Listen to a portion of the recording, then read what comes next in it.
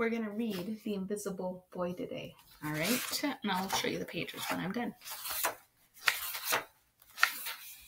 Can you see Brian, the invisible boy?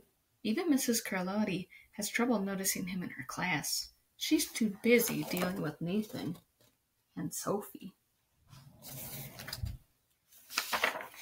Nathan has problems with what Mrs. Carlotti calls volume control, uses his outside voice inside too much.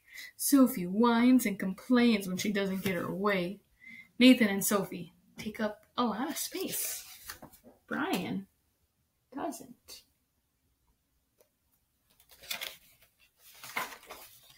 When the bell rings for recess, Micah and JT take turns choosing kids for their kickball teams.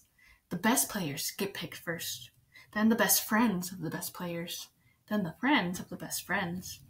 Only Brian is left, still waiting and hoping.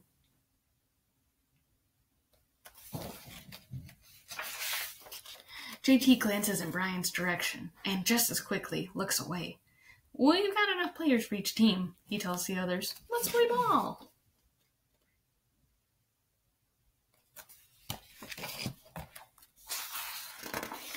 In the cafeteria, Madison and her friends talk about her birthday party.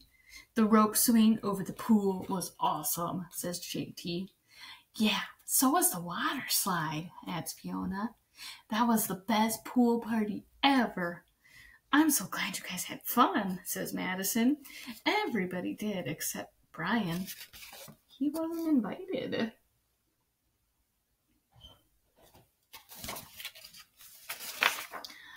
At choosing time, while the other kids play board games and read, Brian sits at his table doing what he loves to do best. He draws fire breathing dragons scaling tall buildings, space aliens locked in intergalactic battles, greedy pirates digging for treasure, and superheroes with the power to make friends wherever they go. So down here, the guy saying, Thank you for toasting my marshmallow from the dragon. And then the alien says, I got you now. Pirate says, Crackers! Arr! And the bird says, Yay! And the superhero says, Hi! And then the guy says, Little boy, Hi, friend. I have a cookie. Hmm. On Monday morning, Mrs. Carlotti introduces Justin, a new student, to the class. Brian smiles shyly at him. Some of the other kids sneak looks at Justin trying to figure out if he's cool enough to be their friend. They haven't quite made up their minds yet. I'm noticing that too. Brian's mouth kind of looks like it's got some color where he was starting to smile. Before he was all black and white. At lunch, Madison and JT watched Justin eat with chopsticks. What's that? asked Madison as she points at Justin's food. It's bulgogi. Bul what? Bulgogi. It's Korean barbecue beef. My grandma made it for me. It's really good. Do you want to try some? There's no way I'd eat booger ghee. And the kids laugh. All of them, that is, except for Brian. He sits there wondering which is worse being laughed at or feeling invisible.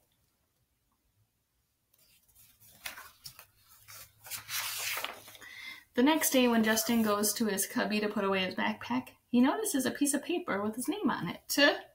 Justin, I thought the bulgogi looked good. Brian, yum. At morning recess, Brian finds a piece of chalk on the ground and starts drawing. You're Brian, right? Yeah. Thanks for the note. Justin came up and said hi to him.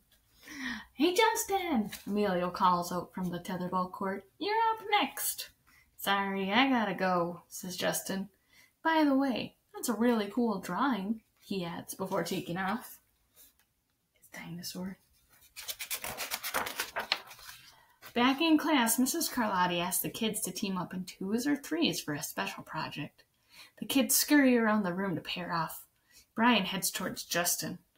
I'm already with Justin, says Emilio. Find someone else.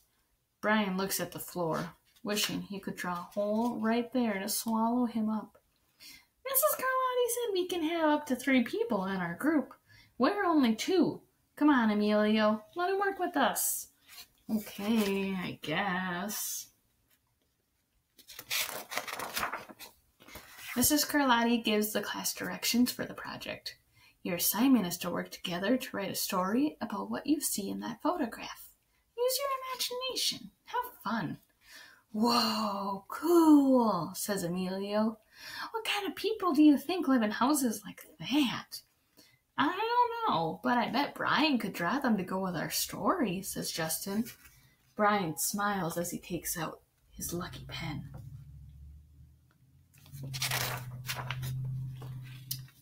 The crooked story we made up on the spot. So there's them working on their story, and then I'm presenting it to the class.